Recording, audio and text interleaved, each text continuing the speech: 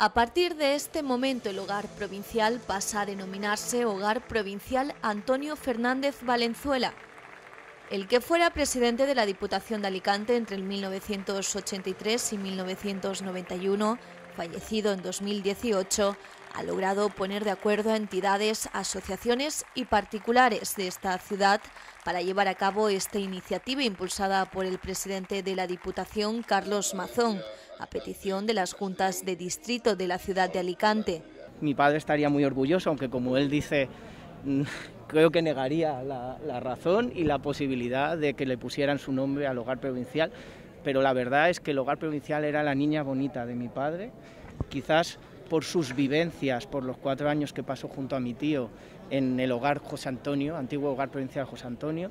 En cualquier caso, eh, eh, las personas mayores y los niños eran para él lo- los más débiles y por tanto los que él más consideraba necesitados de protección. En un mundo político que está tan polarizado, que haya unanimidad de todos para festejar el que un hogar lleve el nombre de un político es algo verdaderamente excepcional, muy excepcional y que abre un poco de esperanza, que a si se toman modelo de este tipo de relación, porque eh, no hay obstáculo para que posiciones políticas diferentes o enfrentadas, desde el punto de vista humano, la gente tenga una relación afectuosa, educada, lo uno no quita lo otro. Ojalá este acto sirviera de ejemplo. El político alicantino que siempre estuvo volcado con este proyecto fue uno de los miles de niños que al quedarse huérfanos han crecido aquí. Por eso hoy este hogar lleva su nombre como forma de homenaje por su implicación durante años con este centro. Después de que se llamara Hogar José Antonio, fue el propio Antonio, como todos sabéis, el que en uno de los primeros plenos que tuvo como presidente de la Diputación, el que le quitó el nombre, José Antonio, por razones obvias y democráticas del periodo que se veía, pero con una reflexión ulterior, que era que nadie, nadie, dado el alto, mm, el, alto principio que lleva a la labor que se hace aquí todos los días, nadie era merecedor de que su nombre fuera el del hogar provincial.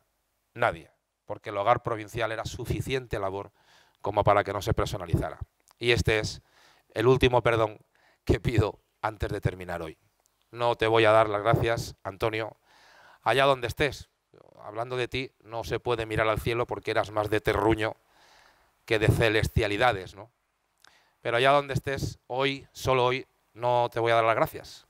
Hoy te voy a pedir perdón por no haberte hecho caso. Y hoy te pedimos perdón todos. Mala suerte. Hemos decidido entre todos que el hogar provincial ya sea para siempre Hogar Provincial Antonio Fernández Valenzuela. Muchas gracias. El Hogar Provincial es un centro socioasistencial que cuenta con centro de recepción y acogida de menores, escuela infantil, residencia de mayores, residencia de becarios universitarios, grupos alojados y deportistas.